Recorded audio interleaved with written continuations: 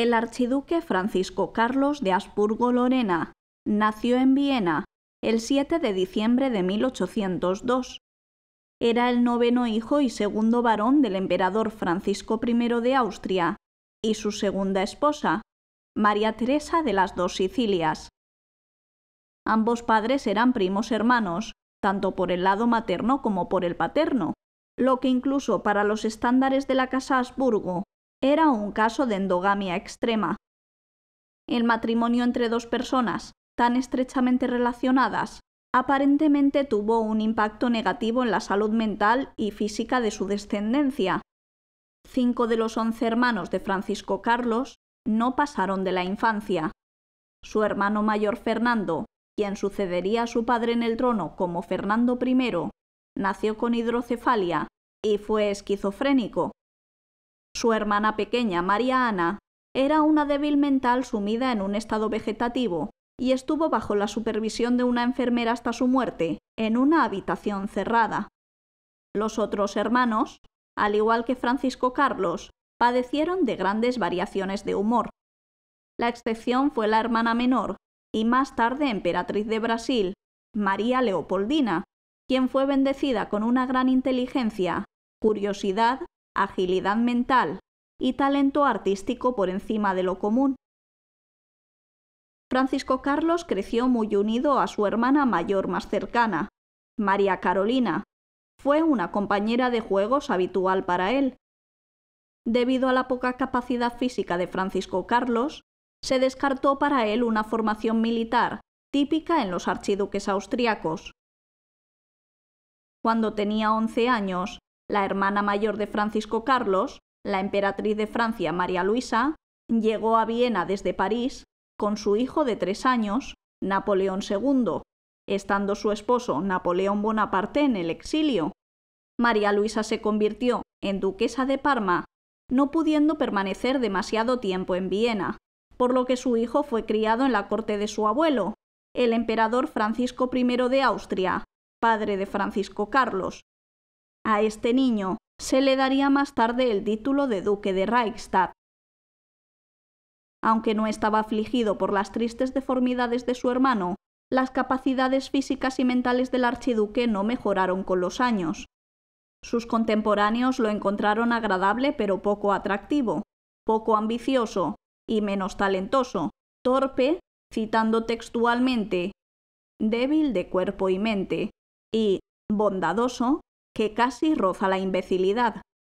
No tenía intereses intelectuales, no tenía sed de poder ni apetito por gobernar, y su única pasión era la caza. Sus biógrafos le atribuyen la piedad profunda, como cualidad más destacada. Por lo tanto, era importante encontrar para él a una esposa enérgica, que supiera cuidarle y que poseyera todas las cualidades que a él le faltaban. Desde el Congreso de Viena, el rey Maximiliano I de Baviera, después de haber sido el mejor apoyo de Napoleón en Alemania, se acercó a Austria y consideró casar a su hija Sofía, entonces de nueve años, con el archiduque Francisco Carlos, que tenía doce. La diferencia de edad entre los dos era pequeña. El rey Maximiliano debió pensar que como el archiduque Fernando, legítimo heredero, sufría no solo de epilepsia e hidrocefalia, sino también tenía problemas neurológicos e impedimento del habla, existía una posibilidad razonable de que llegado el momento, éste fuera apartado de la línea de sucesión y Francisco Carlos sucediera a su hermano, quien aparentemente parecía estar sano, y así Sofía se convertiría en la próxima emperatriz de Austria.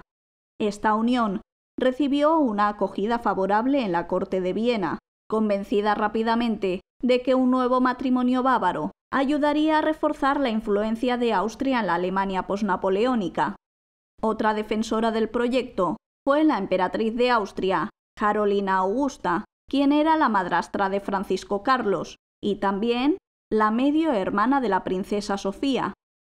No es necesario aclarar que nadie se molestó en pedir opinión a los jóvenes, ya que ambos sabían que no les quedaba más remedio que cumplir con la voluntad de sus padres. El primer encuentro de los jóvenes tuvo lugar en mayo de 1824 en la residencia adquirida por el rey de Baviera a orillas del Tigensee, de acuerdo con un plan establecido entre los dos tribunales, se acordó que Francisco Carlos sería invitado allí. Esto les daría a los dos la oportunidad de conocerse. Si había soñado con un príncipe azul, Sofía solo pudo decepcionarse cuando conoció a su futuro esposo, un hombre amistoso y sonriente, que se mostraba extremadamente incómodo y se movía con torpeza. Era de tamaño pequeño y desproporcionado con una cabeza demasiado alargada, una frente desproporcionadamente alta y un labio inferior fuertemente pronunciado. No tenía nada para seducir. Su bondad no pudo compensar este doloroso sentimiento. Sofía tuvo cuidado de no juzgar a Francisco Carlos en público, después de esta primera reunión. Su reacción, sin embargo, fue todo menos entusiasta. Su pretendiente no pecaba solo por un físico poco atractivo. Era un eufemismo decir que tampoco estaba adornado con las gracias del espíritu. No sabía de qué hablar, aparte de la caza, una verdadera pasión para él. Sus escasas conversaciones rápidamente revelaron que tampoco compartían aficiones. El archiduque tenía claro que no quería nada más que llevar una vida tranquila, lejos de los dolores de la política, un deseo singular para un posible futuro emperador. El joven no quería decepcionar a su padre, y envió una carta contando lo bien que había salido todo, y lo cariñosa y amable que Sofía había sido con él. Por supuesto, ella no se enamoró necesariamente de su prometido, quien por el contrario estaba cautivado por su belleza.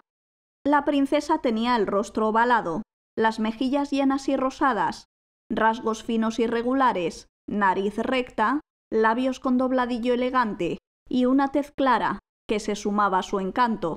El cabello era castaño y estaba dividido en dos diademas de varias filas de rizos que marcaban su rostro. Pero no solo su bonita apariencia era una cualidad, a pesar de su juventud, era ambiciosa, decidida, responsable, inteligente y enérgica. Precisamente todo lo que le faltaba a su futuro prometido, lo que muchos auguraban como el desastre perfecto. La madre de la princesa, la reina Carolina, no estaba demasiado contenta con la elección que se había hecho para su hija, aunque reconocía que Sofía podría llegar muy lejos con este matrimonio, y no tardó en pronunciarse al respecto. ¿Qué debo decirte sobre nuestro pequeño archiduque? Doy gracias al cielo de que Sofía, con todas las cualidades que la naturaleza le ha proporcionado, sea tan razonable. Es un buen chico, ansioso por hacerlo bien. Busca el consejo de todos, pero es terrible. Me aburriría hasta la muerte. A veces no puedo soportarlo más. Ciertamente se dice que es culto y está empezando a ser popular. Debería estar feliz por eso, pero a veces me gustaría patearlo. Sofía es tan bonita y tan ingeniosa. En unos pocos trazos, la reina Carolina identificó los límites de su futuro yerno y mostró claramente su preocupación ante las marcadas diferencias entre las personalidades de Sofía y Francisco Carlos.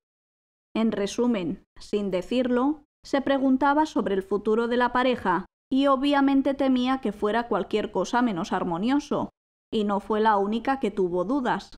El canciller Metternich llegó a decir Si yo fuera una princesa de Baviera, nunca me casaría con un archiduque. Estas opiniones expresadas en privado no se interpusieron en el camino del matrimonio. En términos absolutos aún sería posible cancelarlo todo, pero los intereses involucrados en el asunto eran demasiado grandes como para tener en cuenta consideraciones de conveniencia personal. Por ello la princesa se sometió a su destino y aceptó la propuesta de matrimonio. En la noche de la visita se anunció el compromiso. El medio hermano de Sofía, el príncipe Luis, heredero al trono de Baviera, celebró de inmediato el aspecto político de esta unión, regocijándose en su carta de felicitación a Francisco Carlos. Nuestras dos casas se acercarán, lo que solo puede tener efectos beneficiosos para nuestros países. Austria y Baviera siguen vinculados entre sí. Es de suma importancia para ambos. Por tanto, Sofía no tuvo más remedio que resignarse, a pesar de que su futuro suegro le advirtió. Debido a la condición de mi hijo, como esposa, deberás encargarte de cuidar de él. Y aunque se sabe que la princesa derramó muchas lágrimas, no le tomó mucho tiempo convencerse a sí misma de su próxima unión. No se le escapaba que ella sería el elemento dominante de esta pareja. Después del compromiso, Francisco Carlos se dirigió diligentemente a su padre. En una carta le comunica Hasta ahora he deseado volverte a ver, mi queridísimo padre, para agradecerte muy calurosamente esta amable elección de mi novia y darte las gracias al mismo tiempo. Con el acuerdo concluido, comenzaron los preparativos de la boda. A finales del otoño de 1824, Sofía abandonó Baviera acompañada por su familia, con destino a Austria. A partir de entonces, se dejó ver en el Teatro de la Corte, el escenario más prestigioso de la capital austriaca, y los vieneses encontraban a la futura archiduquesa encantadora. Francisco Carlos se mostraba orgulloso al lado de la mujer que pronto sería su esposa. Un mes después de su llegada, llegó el gran momento. El matrimonio fue celebrado en Viena el 4 de noviembre de 1824, en la iglesia agustina, la misma donde 30 años después se unirán Francisco José y Elizabeth. Como Morgengabe, o regalo de la mañana, Francisco Carlos dona a su esposa 30.000 florines, que equivalen a 680.000 euros, tras la consumación del matrimonio. No hay registros de su luna de miel en ninguna parte. Francisco Carlos no tenía un área de responsabilidad claramente definida. Además de su religiosidad, lo único que conectaba a la joven pareja era su entusiasmo compartido por el teatro y el baile.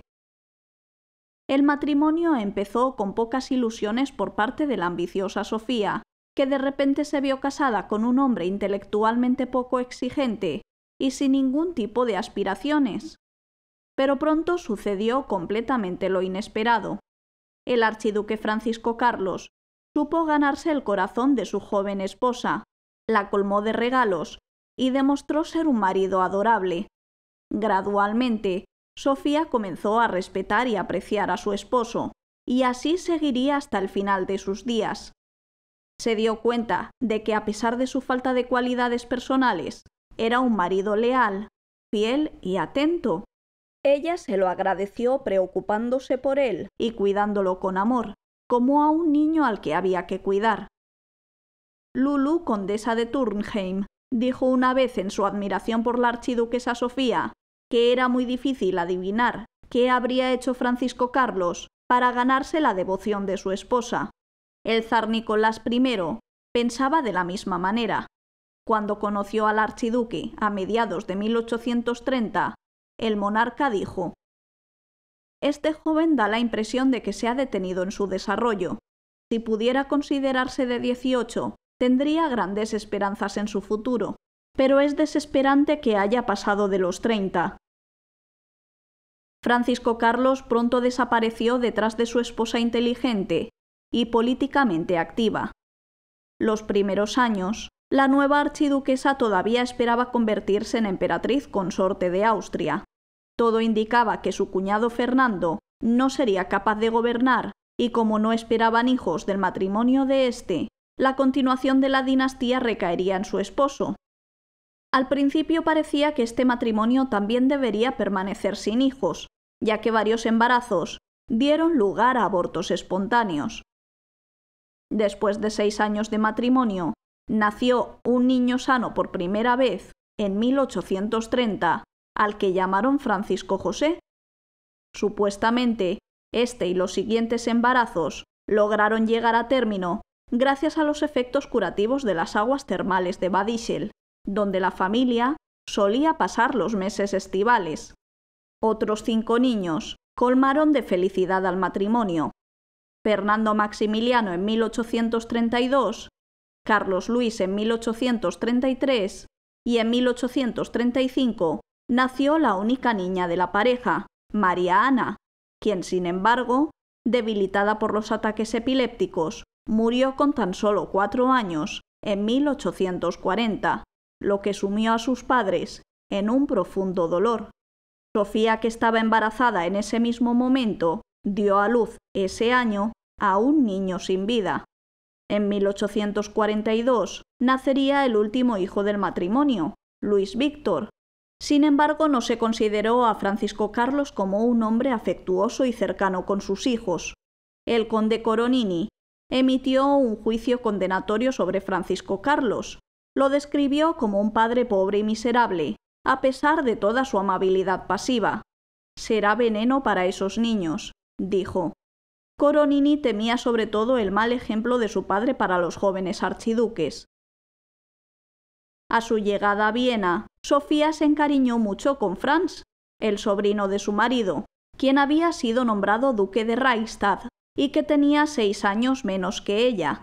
Los dos disfrutaron mucho de la compañía el uno del otro, y hubieron varios rumores, probablemente falsos, de que tenían una aventura, los cuales Francisco Carlos soportó con entereza, sin perder la confianza en su mujer. De hecho, tanto Sofía como Francisco Carlos hicieron compañía al joven durante su enfermedad. Francisco Carlos fue una de las personas a su lado cuando murió Franz en 1832.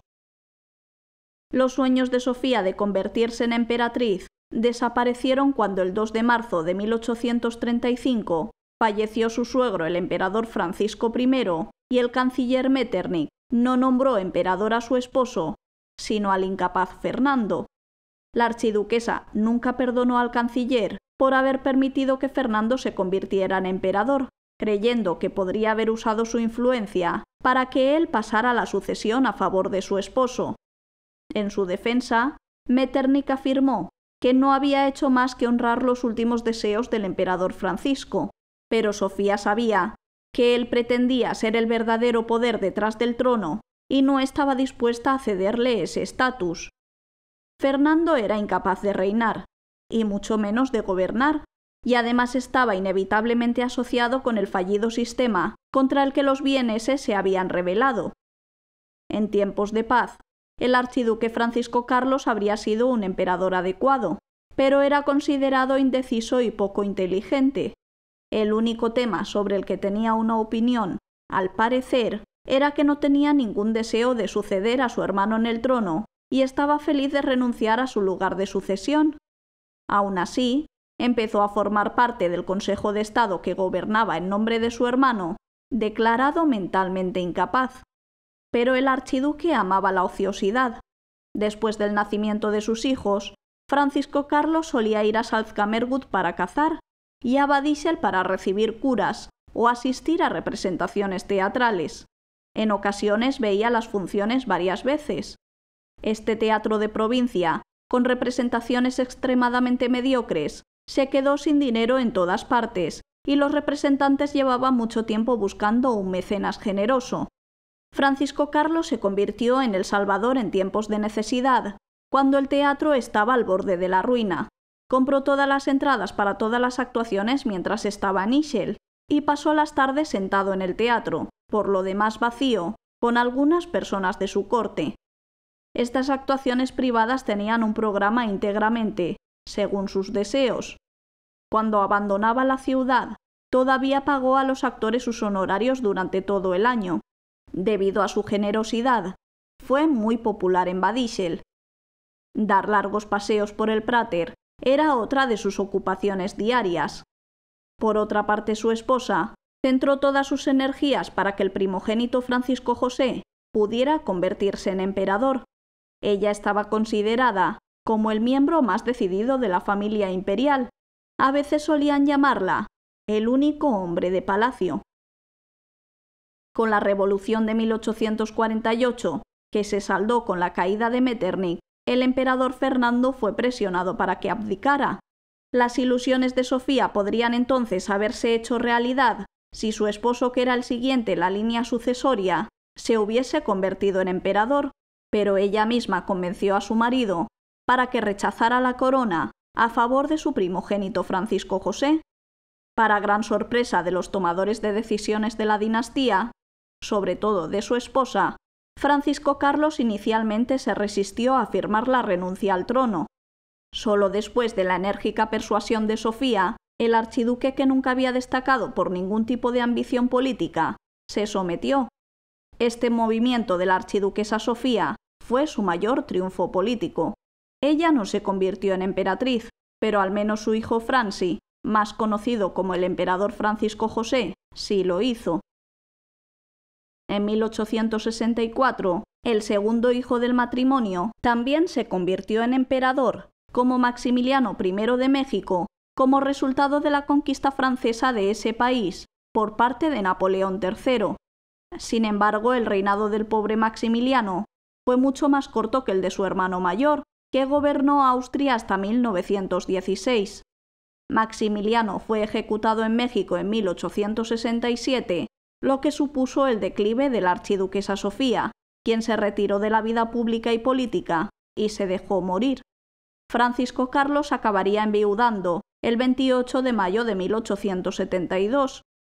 Durante los siguientes años tuvo una vida tranquila. Continuó disfrutando de sus aficiones hasta que su avanzada edad dejó de permitírselo. Acabó falleciendo en Viena el 8 de marzo de 1878, seis años después que su esposa, teniendo 75 años. Francisco Carlos fue el último Habsburgo, cuyas vísceras fueron sepultadas en la cripta ducal de la Catedral de San Esteban y cuyo corazón fue colocado en la capilla de Loreto, que se encuentra en la iglesia agustina, según el rito familiar desde hacía siglos. Descansa junto a su esposa en la cripta de los capuchinos. La inscripción de su lápida dice, Aquí descansa Francisco Carlos, archiduque de Austria, hijo del exaltado Francisco I, emperador de Austria, y de la emperatriz María Teresa, nacido en Viena el 7 de diciembre de 1802. Tras la abdicación de su hermano el emperador Fernando I, renunció el 2 de diciembre de 1848. Murió el 8 de marzo de 1878. El archiduque Francisco Carlos no asumió funciones públicas, pero solo ocasionalmente fue un hombre que llamó la atención sobre sí mismo con sus peculiaridades. Un personaje que podría haber hecho historia, pero que prefirió quedarse a la sombra de su esposa y aunque fue el abuelo de los famosos Rodolfo y Francisco Fernando, quien encontró su final en Sarajevo, para él significó, a través de los años, caer en el olvido. Si te ha gustado este vídeo, no dudes suscribirte a mi canal. Activa la campanita para ser notificado cada vez que haga una nueva publicación. También me podrás encontrar en las redes sociales de Facebook e Instagram. Nos vemos en el próximo vídeo.